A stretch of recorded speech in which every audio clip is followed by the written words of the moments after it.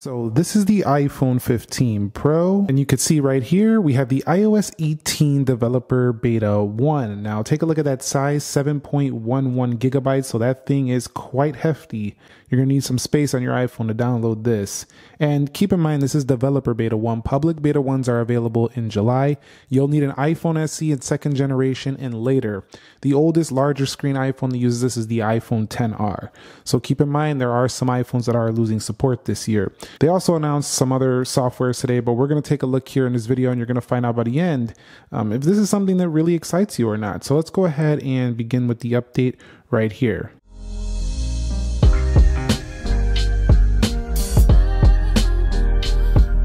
All right, so we're now in iOS 18, and I gotta say, it only took about 15 minutes or so on my Wi Fi. Depending on your Wi Fi, it could take a little bit longer, but it's a sizable update. You can see software upgrade is complete to iOS 18, so let's go ahead and hit continue. And then you'll click iPhone Analytics, welcome to iPhone. So it's kind of like you're going into a new iPhone. Now, first of all, let's just state something very quickly.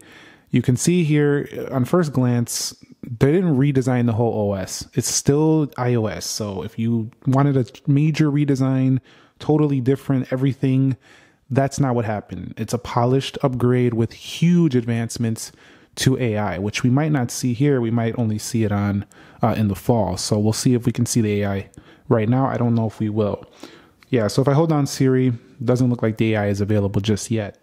So first things I want to take a look at is the wallpapers. And they actually added more than one this year. You have multiple different wallpapers. You have this guy right here, you have this guy right here, and more. I'm going to go ahead and put this one because that's the one that looks most like the iOS 18 icon.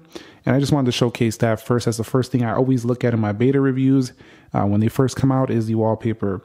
If we go here, you'll see it says general. Let's go ahead. You can see things are looking a little bit different laid out, but not very, very different. I'm going to go into the software update and show you we're on iOS 18. And you can see here the version number for this software is iOS 18 22A5282M. And this is just an early preview, but that's the build number of the first beta. All right, so the first feature here is going to be one of the features I've been waiting for forever, and you could probably hear the happiness in my voice. The ability to move icons wherever you want. Do you see this? It's about time we can finally put icons wherever we want on screen. No longer has to fly into that corner right there. This is going to be a game changer for those of you who've been wanting to just put icons wherever you want, whether you want them on the side. And you know what? This is exactly how I always thought Apple would do this. I always thought they would do it in a way that's like, it still kind of looks clean, but like, you know, they'll still let you put it where you want, but it still kind of retains the iOS feel. And that's exactly what it does here. You still have an iOS look, but let me remove some. You still have an iOS look, but you have the ability now to put these icons wherever you so want. the next one is the ability to change the control center right from the control center. First of all, you can see it definitely has a nice redesign here. Things are looking a little more circle on the edge. They look a little bit more rounded at the edges. I quite like this, but I've always disliked how with Control Center you had to go back into the settings to change things. Well, not anymore. You can go ahead and add controls now right from the Control Center itself, and it kind of shows these little bubbles and what they do here. Um, definitely nice. So tons of utilities. You can even add different accessibility features. You can add different sounds and more. Motor accessibility, hearing accessibility, the list goes on. You're going to have some fun here with the control center this year for sure. So that's a nice enhancement. I also just noticed, let me go ahead and use Face ID really quickly. Hold on. I also just noticed that you can actually turn the iPhone off from up here in the corner now. You can hit the power button right there. Now, I'm going to be honest with you, these features were already found in. Now, if I'm being honest with you, some of these features were already found in things like the Samsung phones, Android phones, but it's really nice that Apple has found their own touch and put their own take on it. You can swipe up to go to music, and you could swipe down to go one more time to your connections.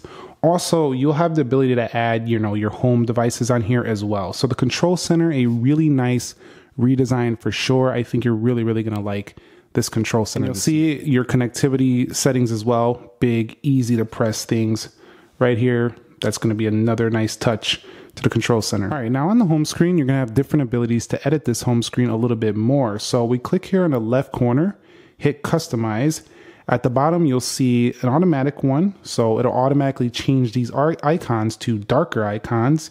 And while Apple didn't bring a totally new redesign, this is like a redesign looking icon, especially when you tweak it into the dark mode.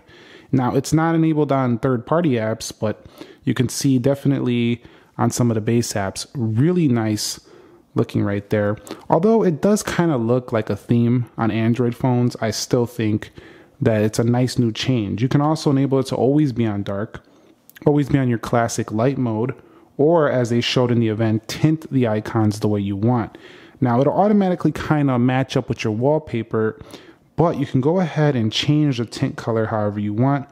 Once again, you can also make the icons large straight from the home screen itself. So if you like really big, large icons, you can go ahead and do that. But also you can make them small again. So that's quite nice as well. So a lot of customization that's going on here in iOS 18, especially to the app icons on the home screen. All right, so when I was just showing the icons here, I was able to tint them, but then there was a bug already where that wouldn't go back to the base one. So you can see already within the beta there can be bugs. Now for the remainder of this video, I'm gonna leave it in this new dark mode right here, just so it looks kind of different. Um, this is really different, and why this is important is because if you're using like a specific tint and wallpaper, your iPhone will finally look a little bit different than someone else's iPhone. And some people might look at your phone and be like, what is that? If they're keeping it in the classic mode. And I would wager a lot of people are probably going to just leave it in the classic mode. But for those of you who pay attention to customization, this is definitely enhancing the experience of iOS for sure this year. This is pretty exciting if you ask me. Another neat touch in iOS 18 is finally, finally, finally history in the calculator. So click over here and we now have history. It's about time, Apple. Thank you so much for listening to us I've been wanting this forever. I've actually been using a separate calculator forever just to do that. Now, they also mentioned math notes in iPad OS 18, but it's also going to be available here for the iPhone. So I'm guessing if you go ahead and just maybe write a math note with markup here. So let's try it right here. 5 times 5 equals, let's see if it will give us that calculation. 5 times 5 equals 25. There you go. So it's like magic right there. Let me make this a little bit deeper right here. So how about 25 times 3 equals 75. That's the correct math right there. Now, I could already see people are probably going to use this to cheat on their test. So don't abuse this tool. This tool is to help you um, with certain math equations, but really cool. I think that's a really powerful, neat new feature. The math notes right there. Very cool. Also, if you go here, scientific, Apple has also added the scientific section. You could see right here, it used to do it in the landscape mode. Let's get out of scientific though. But what I really, really like is that they finally have made upgrades to the calculator, and especially the biggest one is history. I had to use a history based app before, but I'll no longer need that, and it could clean up my iPhone without having to have two calculators on board. So a really, really nice update to the Apple calculator. Another thing you can do now is go ahead and hide applications. So let's say I don't want people snooping in my wallet. I'm gonna go ahead and hit require face ID. So what this is gonna do is basically lock the wallet app. So if you try to open this so on here, you will need to open Face ID. So it's like two steps now to get into the wallet. While that does add some security, I think it definitely is a really good feature, especially if you don't want people snooping around into your device. Also, when you go ahead and hit edit up here, you can go ahead and just add your widgets straight from up there now. So no longer needing to go ahead and go like that. And there was like the plus sign. Now you have the two options right there. So a really, really, really great touch. Also, I forgot to mention right there, if you go ahead and do that, it'll kind of tint, turn into the dark mode right there. So pretty cool overall in the customization aspect. There's also an ability now to hide your applications from the home screen. You'll see them right here. Under hidden, when you do select the ones you want to hide, they will appear in this new hidden folder down here. So that's going to be nice if you want certain applications not visible. This is really great when you go out and about and you want to keep things more sensitive. Uh, information protected, or if you hand this off to let somebody use your phone make a phone call, you don't want them getting and snooping around in your stuff. It's further enhancing the privacy and security of iOS. So the weather app is basically the same, doesn't really need a major update, didn't really get one. So in iOS 18, no changes to the weather besides that icon will change depending on how you tint it or customize There's it. now an all new passwords app. This is great because certain password applications out there actually have gotten hacked already. And just having Apple make one for their own device, I think is really, really a more trustworthy option for those of you who are really nervous to use third party password applications. So, not like they're, you know, stored on device passwords already. This is its own dedicated app where you can go in and grab your passwords. So, this is a really nice new feature here for the iPhone. So, you'll see right here, they're going to store all the ones you already have on device, and it'll say all the Wi Fi passwords, passkeys uh, pass keys. I said keys, keys, security, and more. And you'll be able to add more right here. So if we hit continue, you'll want to go ahead and add groups of passwords. Pretty cool. You can share some passwords with groups of people as well. It's going to be it's going to be really nice to manage them all on device. And that password application will also work across the iOS ecosystem, including on all your other Apple devices. So that's going to be quite nice as well. Apple Journal, which was an all new feature for last year, um, definitely has now the ability to search your journal entries, which is really, really nice. And um, you can have a state of mind now where it'll kind of give you the ability to add your state of mind when you are writing your entries. So um, that's kind of cool, especially if you're using this to kind of overcome some issues and stuff like that. You're journaling daily to improve mental health. That could be really helpful as well. But I personally really like the ability to search out journal entries. That was a con I was noticing with using the Apple Journal app before. So in the journal application right here, I was already journaling earlier about how I can improve my content by talking about Apple Intelligence. So that's one of my journal notes I want to do. I want to navigate and discuss and share with you guys different um, videos with Apple Intelligence, but you can see 11 week streak of journaling. I've written 10,000 words. I have 86 journal days. Again, you can log your mindful minutes as well. And with the search bar, you'll be able to go ahead and find specific entries. Really, really nice, I think, in terms of journaling this year. They're improving this app. And this is one of my favorite new additions that came to 17. It really was good. I just want to see it on iPad now. So, contacts now, you're going to have certain applications will request do you want to let them see the contacts info or not? And you'll have the ability to go ahead and block that from happening in iOS 18 that's about it. Not a ton changing with contacts, but definitely not allowing certain apps to see your contacts is a nice security improvement to the iOS 18. So another new huge upgrade to iOS 18 comes in the form of messages. First of all, we now have RCS, which allows you to message with the you know Android devices, and they should be able to see. Um, you'll you'll be able to see when they're typing and stuff like that. It's just going to improve the overall experience later this year. So definitely our RCS compatibility is huge update for those of you texting between Android users. But Apple smartly went ahead and improved their tapback feature. So while they are allowing Android devices to work with this now with RCS, they didn't really make a big deal about it. What they did make a big deal about it, how you can use any emoji you want now as a tapback. So if you want to, let's just use something here. Let's say I want to use this one. I can go ahead and do that. And that's pretty cool. Now, here's the issue I have with this. I feel like this might not work well with certain Android devices, especially like some of these emojis that aren't available on those devices. So while they did add the RCS support, they also probably made certain things still incompatible.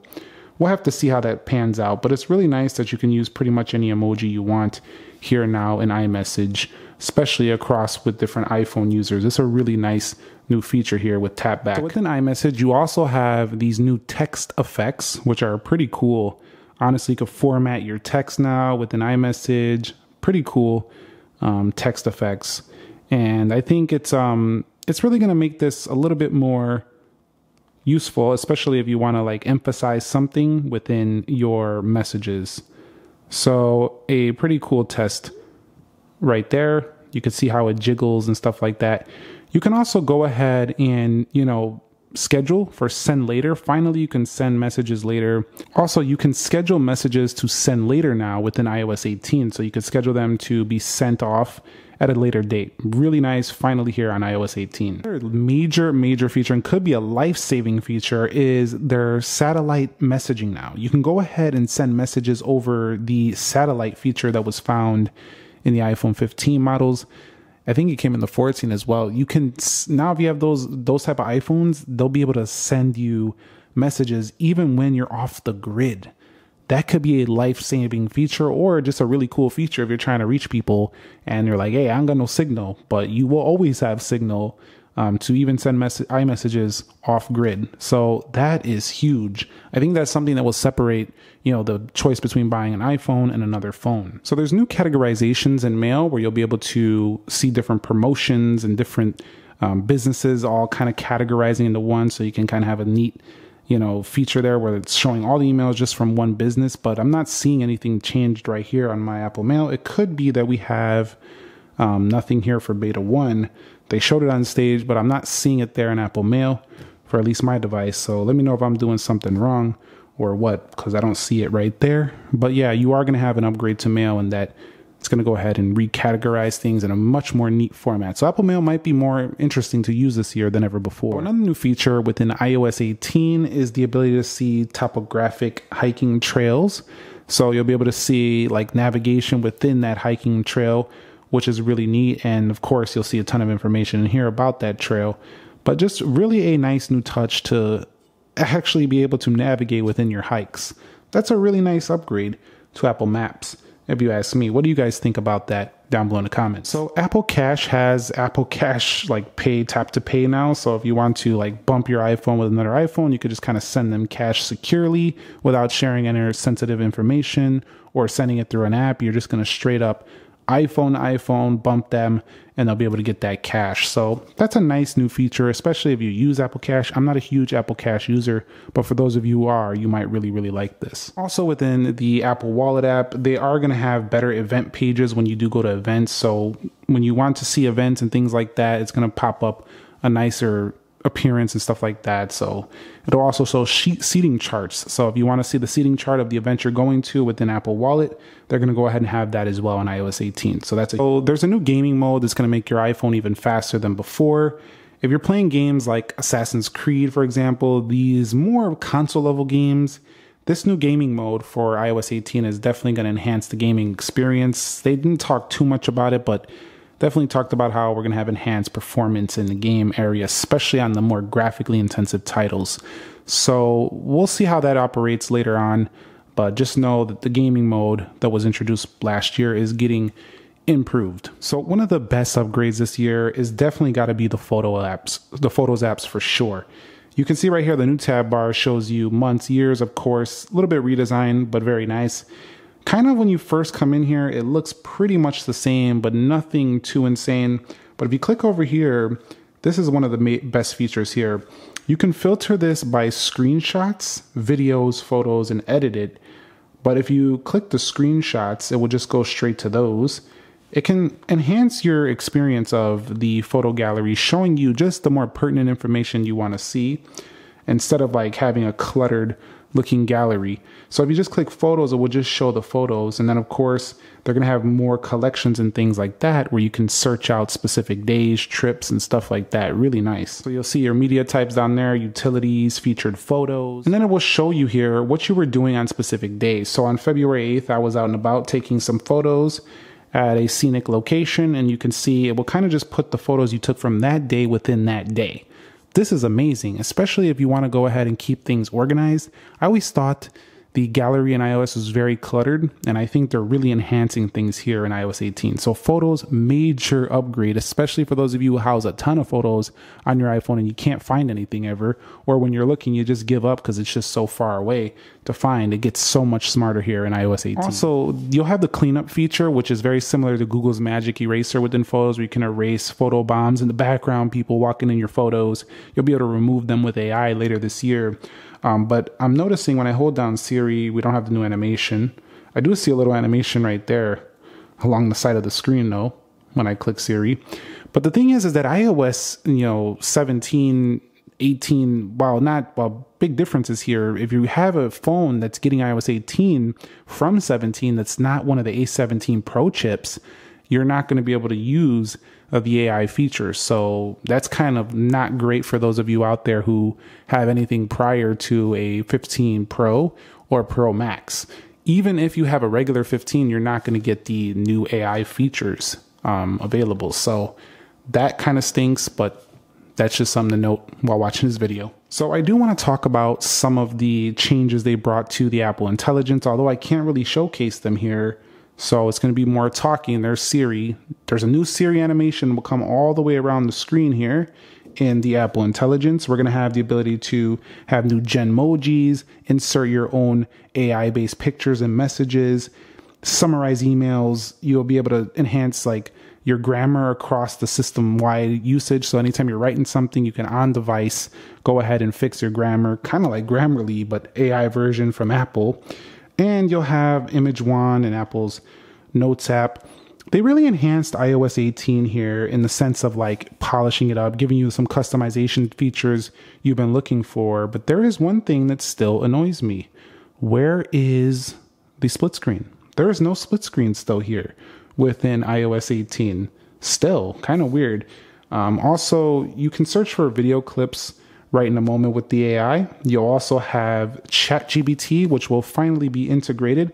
Now, for those of you who don't have an iPhone 15 Pro or higher, you'll still be able to download ChatGPT straight from the App Store if you want to use OpenAI's application, but you could already do that now. You didn't have to wait for this update to do that.